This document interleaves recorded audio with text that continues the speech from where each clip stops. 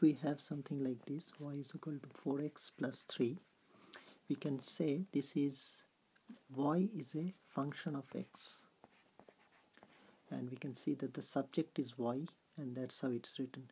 Now if we rewrite this function so that x becomes a function of y then this thing will be the inverse function of this one so if we just rewrite this one and change the subject y is equal to 4x plus 3 we can write we have to write we have to make x the subject. So y minus 3 x 1 fourth y minus 3 so this one is the inverse function of this one I will do one or two more examples like if we have y is equal to 3x to the power 5 minus 2 we have to find the inverse function of this one. So inverse function is often written like that.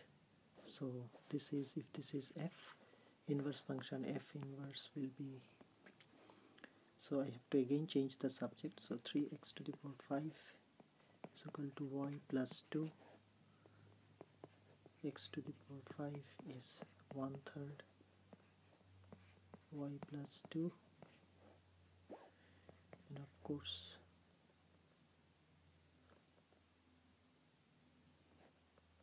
x will be you can write it like that 3 1 fifth that's the inverse function. This is the inverse function of this one. And just one more. This is just the first video on the topic. I will do few more hopefully. I have to find the inverse function of this one. So again I change the subject.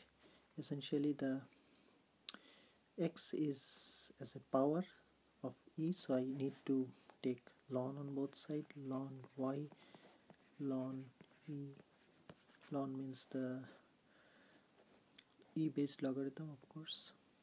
So 2x is becoming this part is 1 2x is ln y and x is becoming half ln y. So this is again this part is the inverse function of this one